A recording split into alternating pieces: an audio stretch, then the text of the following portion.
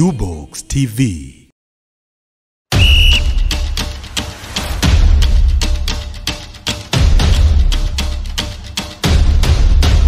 na kusalimu kwa methali isemayo ndondondo si chururu lakini kama haitoshi na kukumbusha msemo usemao kuwa njia pekee ya kufanya kazi nzuri basi ni kuipenda kazi yako nisikuchoshe na nahau zangu na soga za kimtang'ata kawaida tunapochimba asili ya lugha ya kiswahili sisi wanaisimu katu hatusahau visiwa vya zanzibar.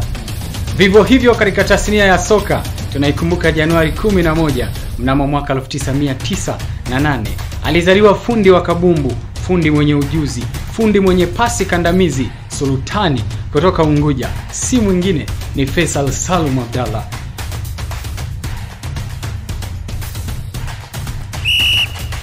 ni wazi utakubaliana na mimi kwa hulka zetu tanzania. Si rahisi mtu kujawa na wafuasi wengi kama huna kitu cha ziada. Achilia mbali rasilimali na vivutio vingi vinavyopatikana tanzania. Kabla nimalize niruhusu ni durusu mgode unaotema udambwi na burudani katika uga wa soka.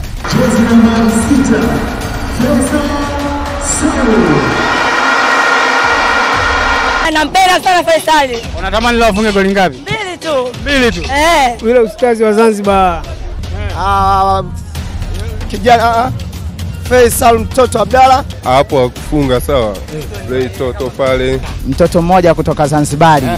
Faisal Salum Feitoto eh, yule atamaliza mchezo yule we mwache kama alivyozaliwa. Yule mchezaji we mwache tu. Ni kawaida sana katika safari ya mpira wa miguu wachezaji wengi kuanzia ngazi za chini kabisa. Hivyo ndivyo ilivyokuwa kwa faisal salum maarufu kama feitoto akiwa katika umri mdogo alianza kukimbiza ndoto yake ya kuwa msakata kabumbu kinaga ubaga sako kwa bako ili tu akidhi haja ya miguu yake sanjari na matamanio yaliyokuwa yakiizunguka nafsi pamoja na moyo wake.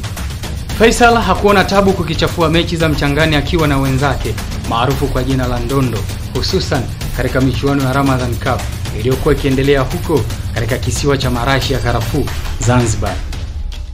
Na mnamo mwaka 2016 Faisal akiwa na klabu yake ya JKU aliwashangaza wapenzi wa kabumbu kwa uwezo wake mkubwa wenye tija kiasi kilicholeta msukumo kwa wana wa Singida United Agosti mwaka 2018 kuona haja ya kuwa na ladha ya kiungo hiki adhimu katika safu yao ya mapishi. Lakini sasa kilichoushangaza ulimwengu, siku hiyo hiyo kinda huyu alimwaga saini yake katika klabu ya wananchi. Hapa anawazungumzia Dar es Salaam Young Africa. Sanjali na hilo, Faisal aliruhusiwa kujiunga na klabu hii ambako huko dunia inashuhudia utimilifu wa kiu na shauku kubwa aliyokuwa nayo Faisal.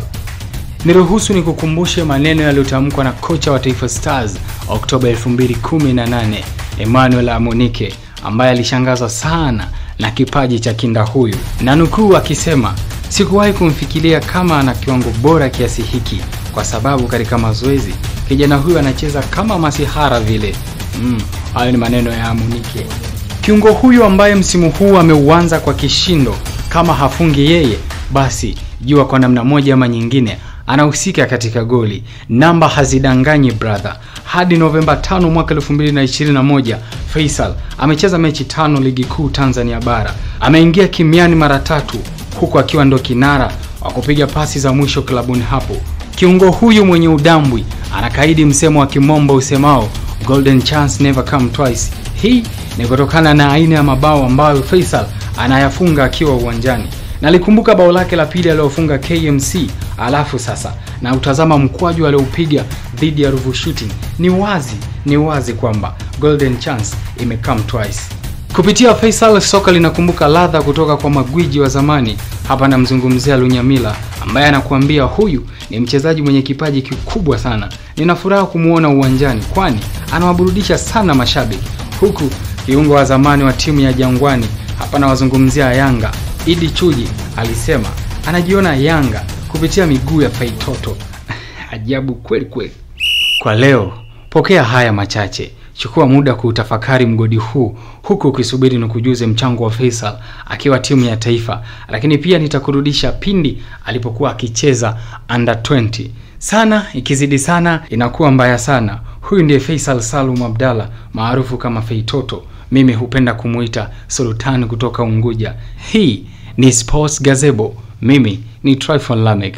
Instagram, Facebook na Twitter tunatambulika kama Ubox TV, lakini hapa YouTube usisahau kusubscribe. Ubox TV.